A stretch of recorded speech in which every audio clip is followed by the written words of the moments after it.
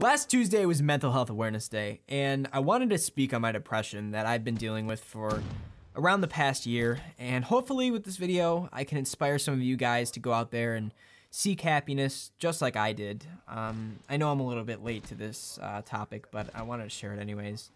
Um, the Shining Light really came to me after I grabbed my Infinite Warfare copy, packed it up in my bag, and drove all the way to GameStop to collect my $20 return fee. Anyways, what's going on guys? My name is Roshi and I'm back with the annual update video. Of course, this has to become a trend on my channel. I mean, it's been a trend forever, but in this video, I wanted to discuss what's been going on since May 30th, right? What is it? What is it? What is it? May 16th of last year, two year, one year, not two years ago, not the previous May 16th, but the May 16th of 2016. That is a long ass time, and I have been doing some stuff from that point, and I wanted to share that with you guys. Uh, but for, you know, the usual kind of stuff, day to day, just been going to school, going to job, you know, getting some money, spending some money, buying some food, eating some food. It's good. It's good. I've been doing good. It's just been kind of a long stroll, going through the motions, you know. Uh, but I'm, I'm very happy. I'm, I'm actually very happy. The skit at the beginning, don't worry about that. That was just, that was funny, right, though?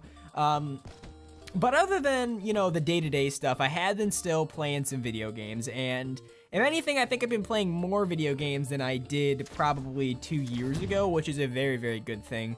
Uh, as many of you guys know, I'm tapping it right now. I have completely switched over to PC gaming. It's uh, kind of just what I've been on for the past two years, I'd say. Um, and since I've gotten the PC, since the games are cheaper on PC because, you know, you can get stuff with G2A and stuff, um, I've been experimenting with a lot more games, and I have a few recommendations that I'd like to throw out to you guys. Uh, because I think they are really good games, and I think you guys should play them. All the games that I'm going to list, I think are on... No, no, no. Only one of them, and possibly two but we'll get into that uh, in a little bit. The, the first one I want to talk about is on console, and it's something that I recommend all of you guys play, is Rainbow Six Siege. Now, I know the community on PC is a little bit more hardcore with it. We have the ESL League that we just got. Uh, that's really cool. Professional Rainbow Six Siege is really fun to watch. It's a little confusing when you first get into it, but there is a few YouTubers that I will link in the description below if you guys want to watch some Rainbow Six Siege content. I'll have some gameplay playing in the background right now, but it's not going to be anything crazy.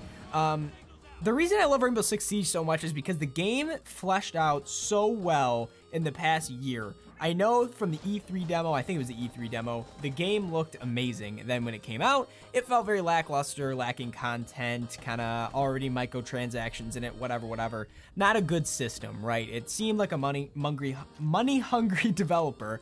But now I think the game has really fleshed itself out. All the operators serve a purpose in the game. Well, you know, except, yeah. Um, anyways, all the operators serve a purpose in the game. The maps feel very fleshed out. They've been, you know, tweaking them and whatnot. The only reason I haven't found myself playing it recently was actually because of the three new operators that were launched in this update, which was the Ela, Caltrop, and whatever the uh, Lesion is the other guy. I, they pro, it just promotes slower gameplay, but that's that's for another video. I shouldn't bring that up. I still enjoy the game, and I think anyone who gets into the game right now will very, very much so enjoy it. It does have a very steep learning curve, but once you get past it, it is extremely fun. Tons of maps, tons of content, definitely recommend that. Another game that I've been playing a ton as of late is PUBG. I'll have that game playing in the background right now. Um, PUBG. PUBG has no introduction needed. This game has been spammed across your sub boxes. I understand it. I don't want to oversaturate the market, uh, you know, as it is already. Um, I don't want to do that, so I'm not going to be uploading videos of that. Not to say that I'll be uploading videos at all. Let's keep that on the DL, all right? That's our little secret.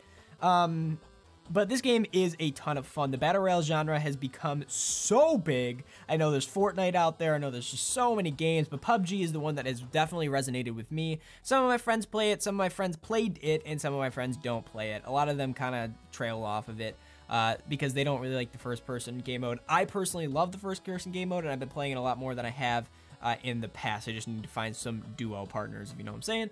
Um, but yeah, I definitely recommend giving that game a shot. It is coming to Xbox, so disregard what I said before, and it might be coming to PS4, so definitely keep that on your radar if you haven't already. And the third game that I've been playing so, so, so much, this one goes out to the indie, indie developers of the world. This one has been definitely my favorite as of late, uh, basically because I've got it like a week ago. But it's called Comedy Night. Let's skip the formalities there. And the game is called Comedy Night. Now, this was a game that came out on Xbox Live in 2012, and I played, well, I saw my friend play it. Um, and I, I didn't really look into the game, so I didn't know what it was. And then about a week ago, my friend named Evan told me to get it, and I've been playing it ever since with like all my other friends, and I've told them to get it. The game is five dollars. It's an incredible steal for what you're getting. It's the game is fucking hysterical. I was crying the first hour that I played it. It was so funny. Uh, the community there is absolute AIDS. I'm not even gonna say it's a good community. It's absolute fucking AIDS. I'll leave a few YouTubers down below that I watch for that. Um, specifically some videos because they'll they'll make you cry laughing. It's again, it's five dollars. A potato could run it. Literally, if you have any sort of computer, download Steam and buy this game. A potato could run it. It is so simple. You just sit there and chat it up with a bunch of guys, and it's exactly like a comedy night. You know, no, nothing much to be said there. Just make sure to watch the videos that I link in the description. I think they're good content. Um, and I think you guys will enjoy that. So that's basically what I've been up to. Not too much uh, on the radar as of right now. Hope you guys enjoyed this annual update video Bye, ya boy. By ya boy. Anyways, I'll see you guys in the next one. Deuces.